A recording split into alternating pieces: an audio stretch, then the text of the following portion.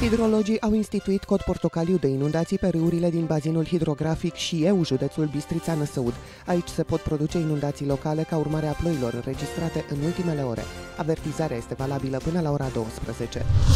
Federația Loja de Onoare a Revoluționarilor din decembrie 1989 îi cere președintelui Claus Iohannis să nu folosească Revoluția în scopuri electorale, deoarece trebuie să rămână nepătată în memoria poporului român.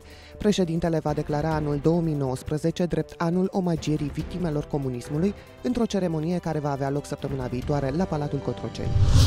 Sebastian Ghiță a declarat că nu a avut nicio relație sentimentală cu Laura Codruța Chioveși, în contextul în care Victor Ponta, la audierea de la secția de anchetare a magistraților, a spus că fosta șefă de nea îl iubea pe Ghiță și că ea considera că se vede prea des cu Udrea. De asemenea, fostul ministru Elena Udrea a precizat că multe dintre arestările din România ar fi avut loc din alte motive decât cele în cadrul legal.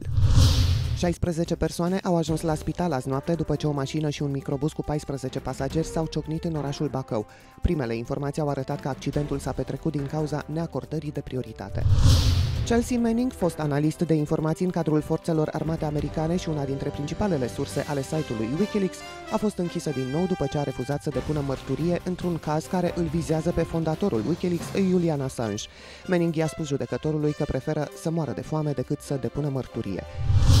Toate știrile de ultimă oră vă sunt oferite de agenția Mediafax.